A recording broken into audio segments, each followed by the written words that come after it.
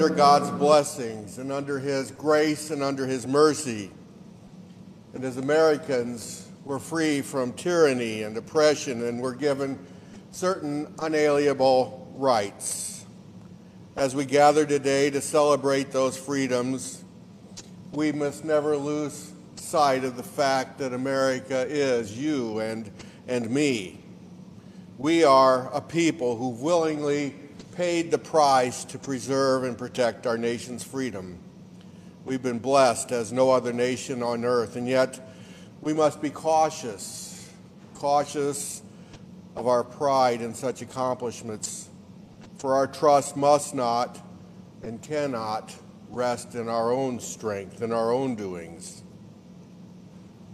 One of our greatest freedom fighters, President Abraham Lincoln, said over a century ago that it was the duty of nations and individuals to recognize the sublime truth announced in the Holy Scriptures and proved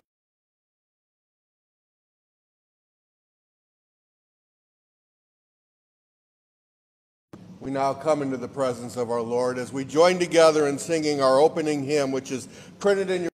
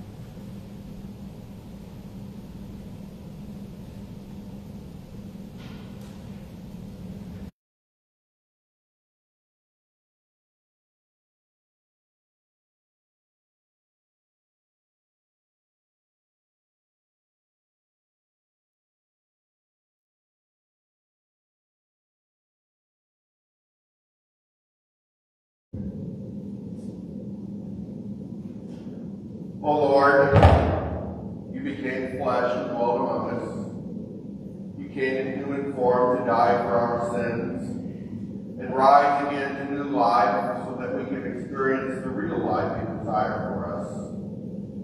You come to us today in your word and sacraments. Open our hearts, minds, and lives to the leading of your Spirit and provide us the nourishment and strength we need through Jesus Christ, your Son, our Lord, who lives and reigns with you in the Holy Spirit, one God, now and forever. Amen. On this Independence Day weekend, we pause to pledge our allegiance to the flag of our country and to the flag of the Christian Church. I pledge allegiance to the flag of the United States of America and to the republic for which it stands, one nation, under God, indivisible, with liberty and justice for all. And now the Christian flag. I pledge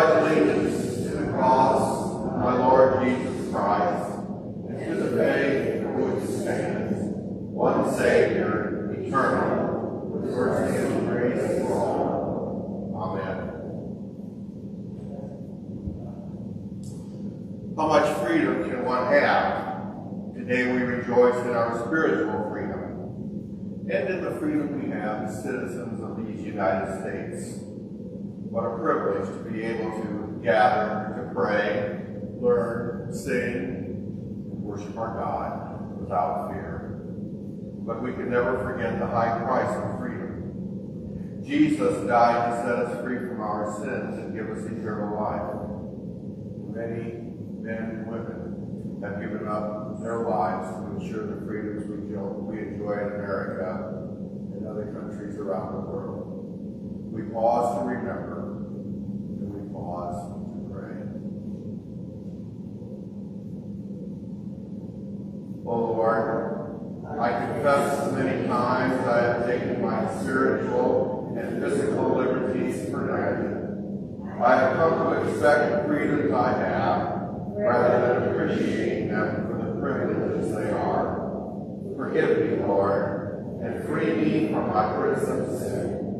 Help me to be grateful for the sacrifices made daily by others to ensure my freedom. I pray this in Jesus' name. Amen. Dear friends, today, and this weekend, is a day of celebrating liberty. And I tell you with all joy and with all confidence that we are free. In Christ we're free, forgiven, we're blessed beyond measure. Praise God for this gift of grace through our Lord Jesus Christ. Amen. We continue with our hymn of praise, My Country Tis of Thee.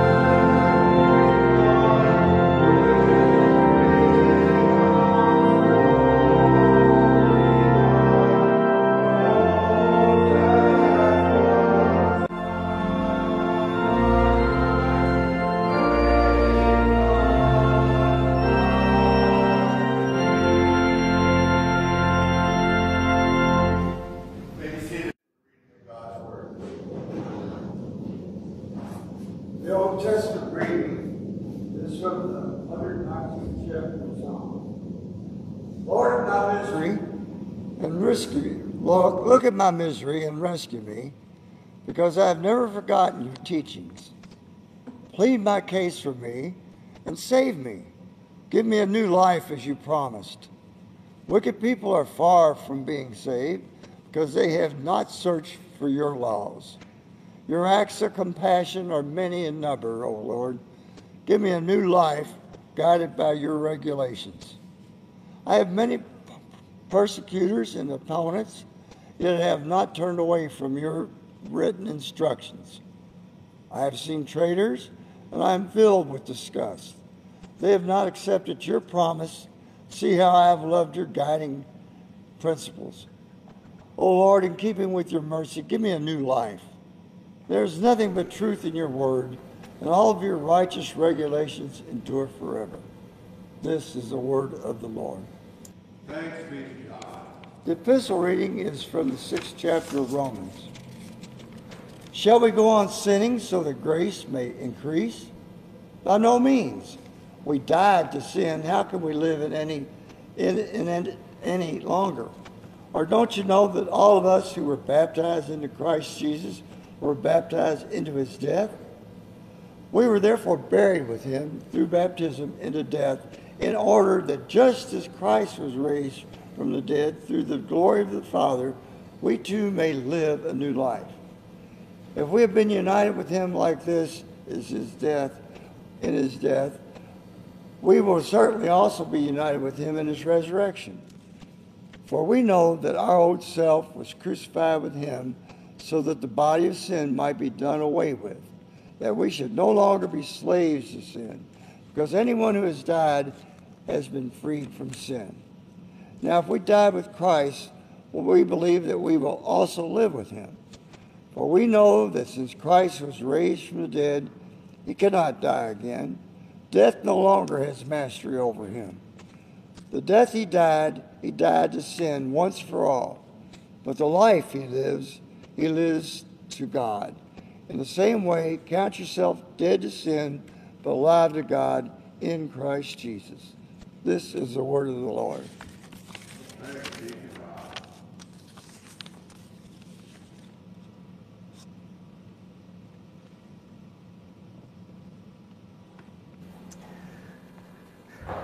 In honor of our Lord Jesus Christ, we stand for the reading of the Holy Gospel which today is recorded in the 10th chapter of Matthew, beginning at the 37th verse. Jesus is speaking. Do not, do not suppose that I have come to bring peace to the earth. I did not come to bring peace, but a sword. For I have come to turn a man against his father, a daughter against her mother, a daughter in law against her mother in law a man's enemies will be the members of his own household. Anyone who loves his father or mother more than me is not worthy of me, and anyone who loves his son or daughter more than me is not worthy of me. And anyone who does not take his cross and follow me is not worthy of me. Whoever finds his life will lose it, and whoever loses his life for my sake will find it. He who receives you receives me, and he who receives me receives the one who sent me. Anyone who receives a prophet, because he is a prophet, will receive a prophet's reward. And anyone who receives a righteous man, because he is a righteous man, will receive a righteous man's award.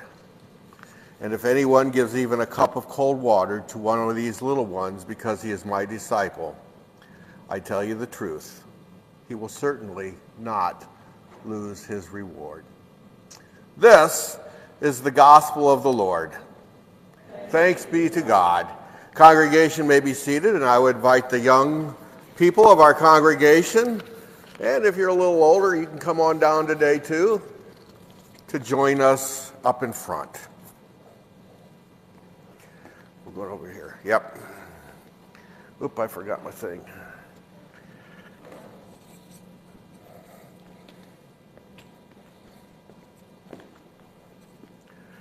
All right, guys.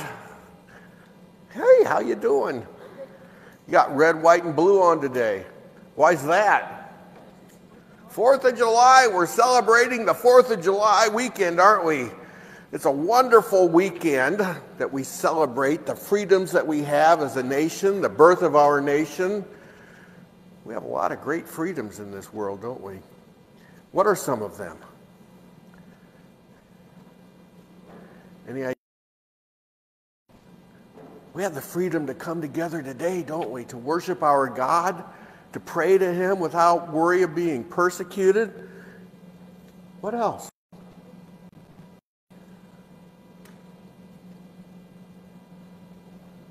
We can live where we want, can't we? We can speak our mind as long as we're not mean to someone else. We have lots of great freedoms. We can go where we want. Nobody tells us where we can go, where we can live. Yeah, it's a great country we live in. And even though we have all these great freedoms in our country, we have an even greater freedom in our Lord Jesus Christ. Because in Jesus we have freedom from sin, death, and the devil. And as Daisy and I were thinking about this this week, we were reminded of the story of Joseph and how he was in prison and how he was freed. And so I brought Daisy along with me this morning to tell that story of Joseph. Would that be okay with you guys? All right. So, Daisy.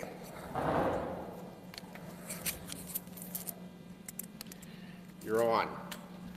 Oh.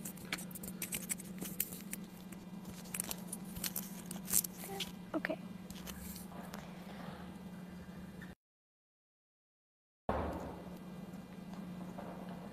Really going to get you mic'd up. You're going to have to stay close to me now. Okay.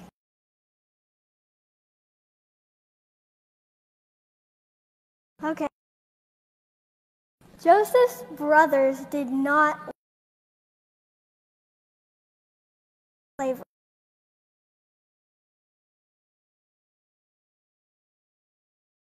After some bad circumstances,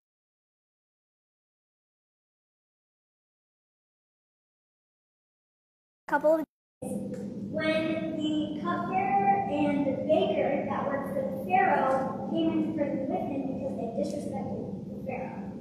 So all three of them were in prison together, the cupbearer, the baker, and Joseph. And one day, the cupbearer and the baker, they were looking a little sad. So Joseph turned to them and he asked them, why do you guys look sad? And they said, well, we both had these dreams, and no one tell us what it means. And Joseph said, Well, aren't they God's interpretation? Shouldn't he interpret them for you? So, Tell me your dreams, Joseph said, and God will interpret them. And God will interpret them for you through me. So the cupbearer told Joseph his dream, and he said, In my dream, there are there's a vine growing next to me, and I have the Pharaoh's cup in my hand. And there are three branches on the vine, and there are grapes growing from the branches. So I take the grapes and I squeeze it into the cup, and I give it to the Pharaoh. And Joseph said, This is what your dream means. It means that the three branches represent three days.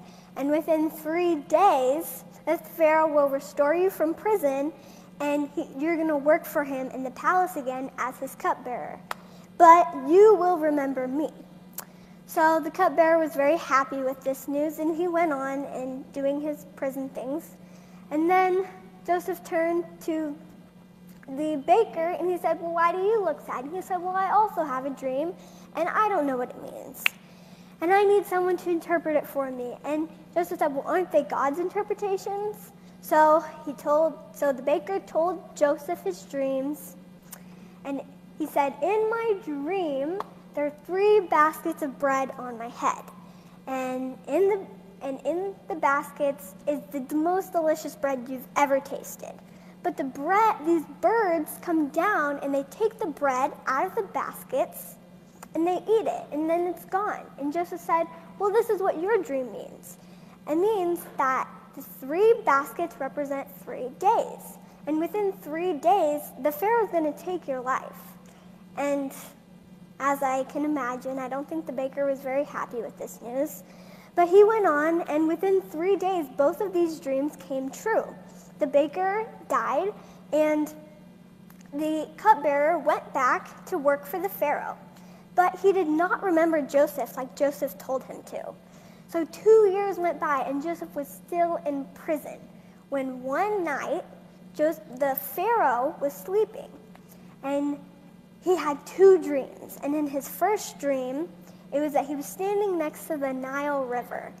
And seven fat cows came up to him and they were grazing land in front of him. But then seven ugly, skinny cows came up to him and they ate the seven, the seven other cows. And then the Pharaoh woke up and he realized it was just a dream, so he went back to sleep. But then he had another dream, and in his second dream, there were seven heads of grain, or stalks of grain, and they were healthy looking and they were growing really fast. But then there were seven other stalks of grain, and they were not growing at all. They were, they were dying. And so the seven unhealthy stalks of grain ate the other healthy ones. And then the Pharaoh woke up and he realized it was just a dream. He was, it was just a dream, so he went back to sleep. And then the morning came, and he could not stop thinking about these dreams. So he gathered all his wise men, and he, he told them his dreams, and he said, Interpret these dreams for me. And none of them could. They had no idea what the dreams meant. But then the cupbearer remembered that he had a friend in prison that could interpret dreams. So he told the Pharaoh, and the Pharaoh took Joseph out of prison.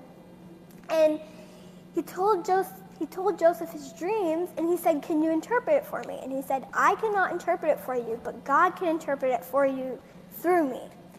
And so then he said, Well, this is where your dreams mean. The seven cows, the seven healthy fat cows, and the seven good stalks of grain are the same mean the same thing. The seven fat cows and the seven good stalks of grain mean that there will be seven good years of food. There's going to be a lot of food, and Egypt is going to have more food than they could ever imagine.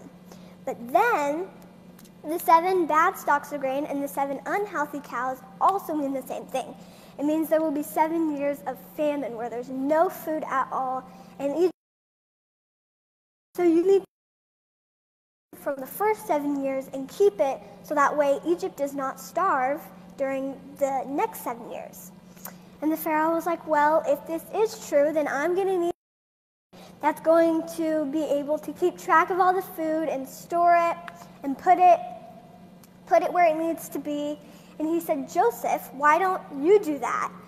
And so he, the Pharaoh took a ring off of his finger and he put it on Joseph's finger and he said, You will be the second most important man in all of Egypt because you interpreted my dream for me and you there will not be anyone who comes out in and out of Egypt without your permission. You will be second to me.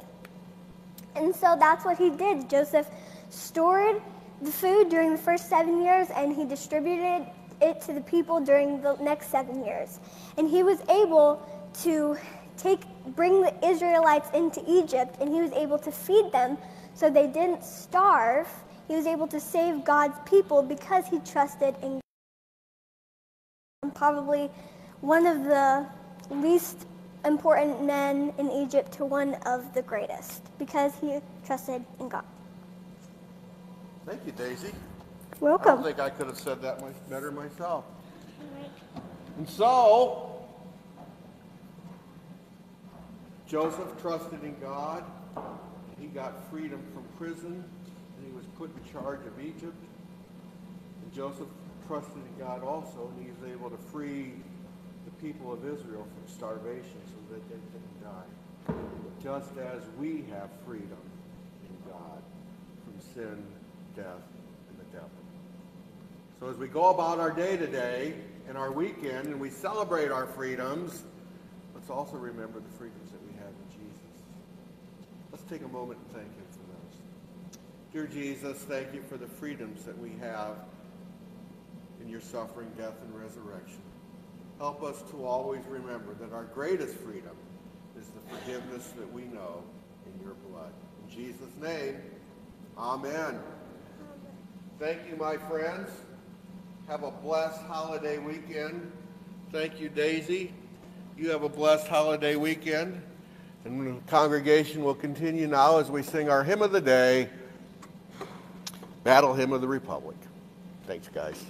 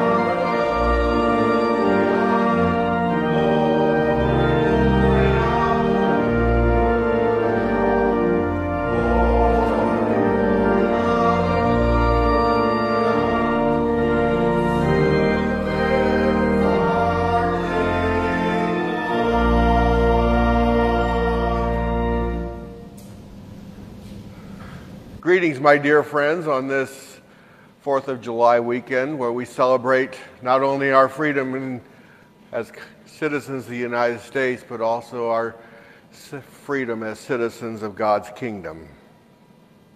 And as we gather here today, we certainly, if we're honest with ourselves, have much to be thankful for.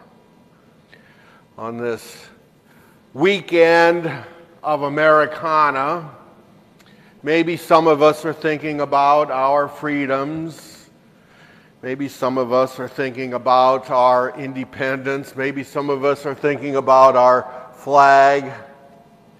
Maybe even some of us are thinking about more trivial things like baseball, apple pie, and Chevrolet, as the tagline went many years ago. Or maybe even Thanksgiving, or uh, Thanksgiving fireworks. But as we come to worship on this 4th of July weekend, I want us to not only remember how blessed we are physically speaking, but also, and more importantly, to remember how blessed we are spiritually speaking. Patriotism and Christianity have a lot in common throughout our history. The hymn, My Country, Tis of Thee, which we sang just a little while ago, was written by a Baptist clergyman named Samuel Francis Smith. The Pledge of Allegiance, which we recited in our service today, was written by a Baptist minister named Francis Bellamy. The words, In God We Trust, which are printed on our coins and currencies, was the effort of Reverend W.R. Watkinson. He wrote a letter of recommendation to the Treasury of the Secretary, Treasury of Secretary of the Treasury, Samuel Chase, and later, seven days later, in fact, Mr. Chase wrote to the Director of the Mint as following No nation can be strong except in the strength of God, or safe except in his defense. The trust of our people in God should be declared on all our national coins. Will you cause a device to be prepared without delay, with a motto expressing the finest, in the finest and tersest words possible, this national recognition? And thus we have those famous words on our coins in God we trust. The only clergyman to sign the Declaration of Independence was a Presbyterian minister who was the president of a little college in New Jersey. He had taught nine of the other signers of the Declaration of the Independence, and his little college became known as Princeton University. So, as Christians, we know a thing or two about freedom. It's the natural state in which we live, or at least live. And yes, we do United States of America. And as citizens of this country, we have certain unalienable rights very familiar to us life, liberty, and the pursuit of happiness. We live in freedom because our Constitution, which we hold dearly, protects those rights, and that tyranny and enslavement are illegal or tolerated in our country. And those are the freedoms that our nation celebrates this weekend. The freedoms that we cherish as citizens of this country the freedoms that we've come to know and love as citizens of this United States. But as Christians, we know an even greater freedom. Paul writes in our epistle reading from Romans that Jim read a few moments ago for we know that our old self was crucified with Christ so that the body of sin might be done away with and that we should no longer be slaves to sin. Because anyone who has died has been freed from sin. It's great as we celebrate this weekend to live in a free country it's wonderful to be able to make the choices we want that we feel are best for ourselves and for our family. It's fantastic to be, able to speak with an open mind and be able to promote our opinions. But even as we celebrate all of these freedoms, we're still bound by the slavery that we have to sin. Because our natural tendency, my friends, is to look to ourselves. Our natural tendency is to do what I want to do. Our natural tendency is to ask ourselves. That's because our sinful nature holds us captive, captive to Satan, captive to his influence in our lives.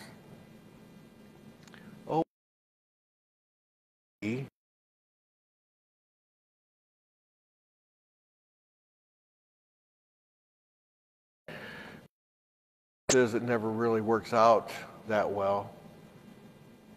And pretty soon we find ourselves in the same old rut. looking out for old numero uno. We're trapped, we're imprisoned, and we're certainly not free. But then Jesus came, and Jesus did something about it because he took upon himself our frail human flesh, our frail blood, with all of our weaknesses, with all of our faults, with all of our limitations. And he over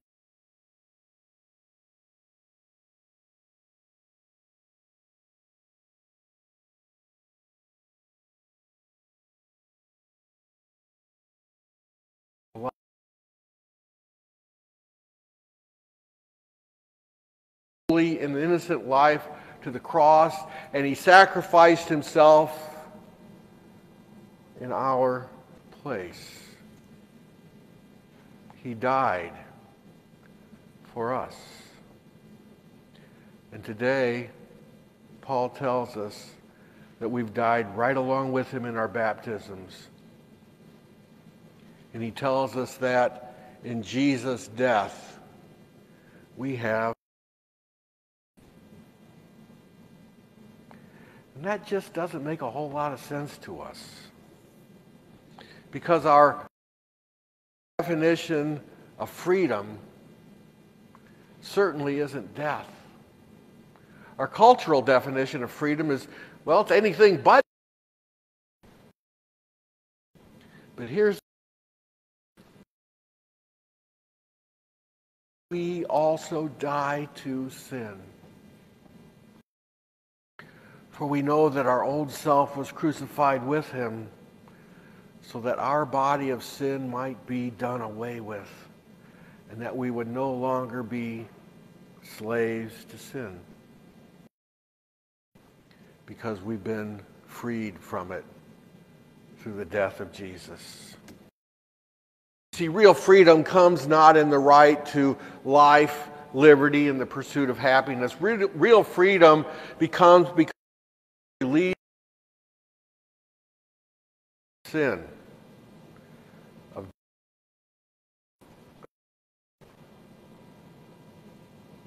and then Paul goes on to tell us that if we've died with him, then we also believe that we live with him. Because since Christ was raised, has mastery over him. The death he died to sin, he lives. He lives to God.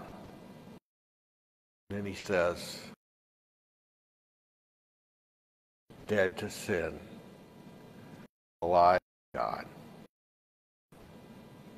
My friends, we have freedom because of death death in Christ Jesus. Because that death leads to Christ. And life in Christ leads to eternal life. And eternal life equals eternal freedom. Thanks. So and celebrate the many freedoms that we have as citizens of this great country. Citizens that we enjoy, rights that we cherish, freedoms that we want to preserve. Let's celebrate them with baseball, hot dogs, apple pie, and Chevrolet, and maybe even some fireworks. But let's never, never, ever forget the eternal freedom that we have in Christ Jesus our Lord. It's in his name. Amen.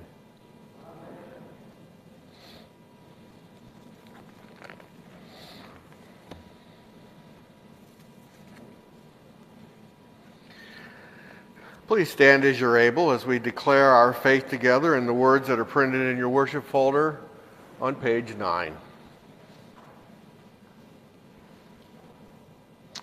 We believe in God the Father Almighty, who calls us as his own and has created all that we have and are.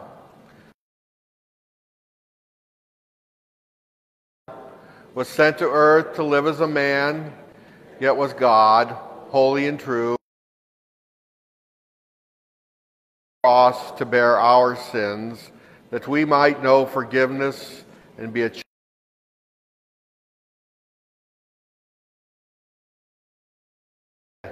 and he now rules on high, seated at the right hand. We believe in the Holy Spirit, the power of God that calls us, enlightens us, and empowers us as his children and his holy nation. By his power we shall rise up as a mighty nation, filled with the Spirit of the Lord, a shining in this world by the gifts he has given us in us and together we shall be patient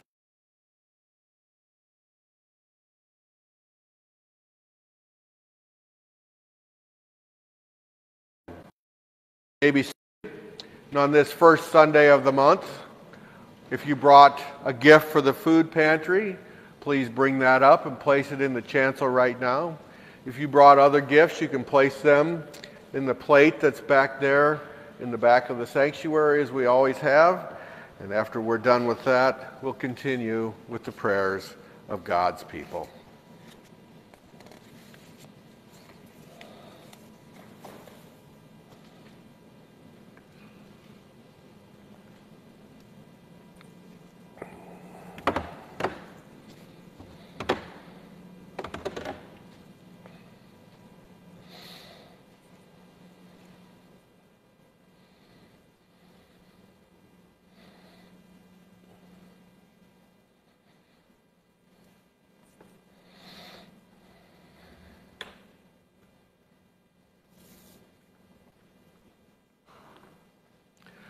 Let us pray now for the whole people of God in Christ Jesus and for all people according to their needs.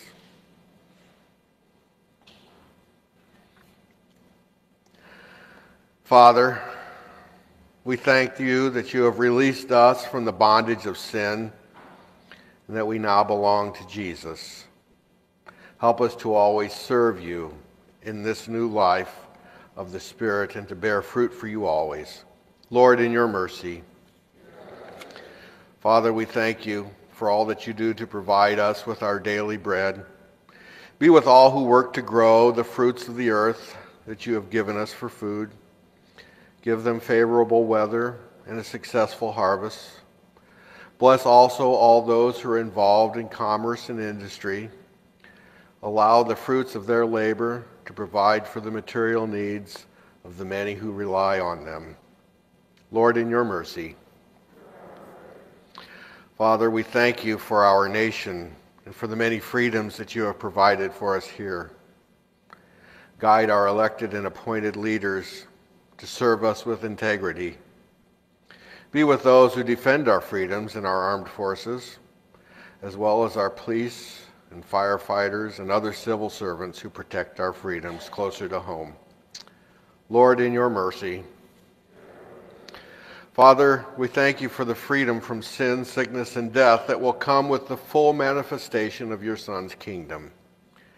Give comfort, healing, and patience and endurance to our friends, Reverend Tom Eggold, Jess Ensley, Chris Herman, Gary Holland, Reverend John Callio, Phil Koshua, Sheila Koshua, Alvine Ruth, Frank and Ellen Shaw, Wilma Slemons, Chevelle Slemons, Ed, Ed Shoemaker, and all who suffer from illness, injury, or chronic afflictions.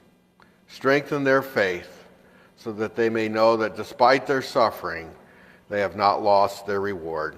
Lord, in your mercy, Father, we thank you for the gift of family and lift up to you the families of our congregation and community, especially those who are celebrating birthdays. Sherry Hildreth, Jeremy Killebrew, Dolores Giles, Sharon Sauer, and Tahir Haj Muhammad Riza. Make us faithful proclaimers of the freedoms we have in your Son, Jesus Christ. Lord, in your mercy, Father, we thank you for the seasons and for the means to travel the earth that you've given to us. Keep safe all those who journey, whether by land, sea, or air, and bring them safely to their destinations and see them home again. Lord, in your mercy. Gracious God, every day you provide us with opportunities to show your love through this congregation, our family of faith. Thank you for the opportunity to support these vital ministries with these gifts of food and time and resources. Continue to encourage us to be your servants by the power of your Spirit. Lord, in your mercy, Father, we thank you for the foretaste of the feast that is to come, that comes with the body and blood of your Son, Jesus Christ. May this holy meal which we are about to receive strengthen our faith, bind us to you, and free us for service to others. Lord, in your mercy, Father, we thank you for the great cloud of witnesses that surrounds us. Join our prayers with theirs and bring us at last with them into the full freedom of your kingdom. All this we pray through Jesus, your Son, who also taught us to pray. Our Father, who art in heaven, Hallowed be thy name, thy kingdom come, thy will be done, on earth as it is in heaven. Give us this day our daily bread, and forgive us our trespasses, as we forgive those who trespass against us. And lead us not into temptation, but deliver us from evil. For thine is the kingdom, and the power, and the glory, forever and ever. Amen. I now invite you to stand for our communion liturgy as you turn to page 10 in your worship folders. The Lord has promised He's always with you. Lift up your hearts to Him.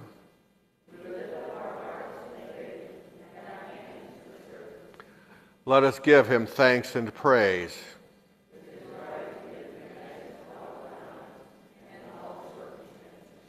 O taste and see that the Lord is good.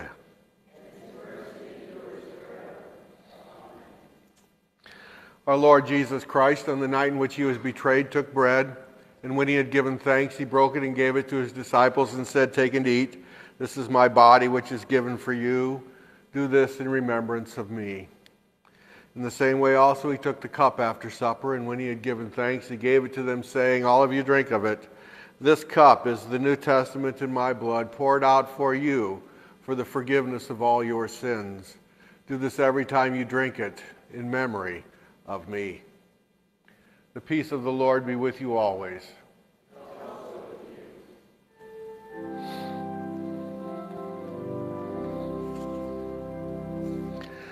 Lamb of God, you take away all my sins now.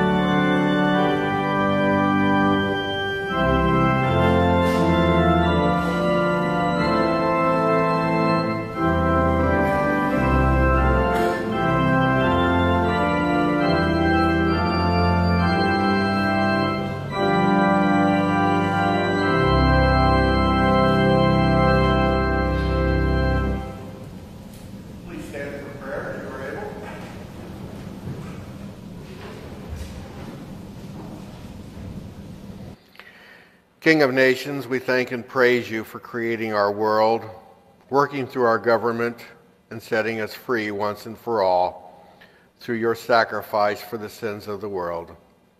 Guide us, your people, who have been nourished with your body and blood, to be the salt of the earth and the light of the world. In Jesus' name, amen. And now, my friends, may the Lord bless you and keep you. May the Lord make his face shine on you and be gracious unto you. May the Lord look upon you with his favor and fill you with his peace, both today and tomorrow and into eternity. And all God's people said, Amen. You may be seated.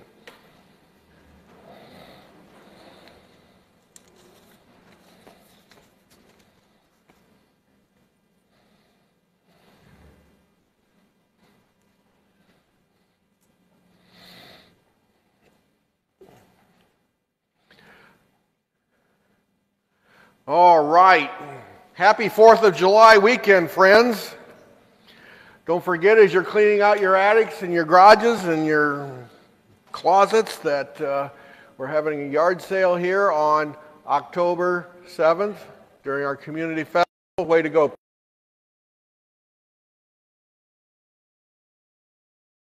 All got it now. October 7th.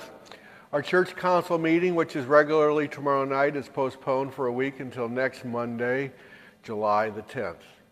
And that is all that I have. Does anybody else have anything else? Nope. Ed.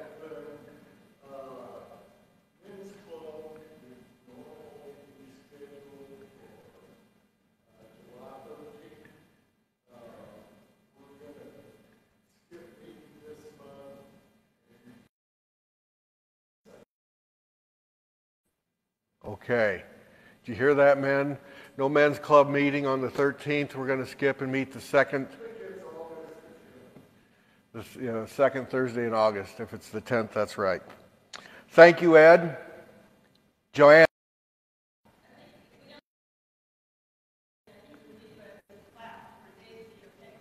Hey.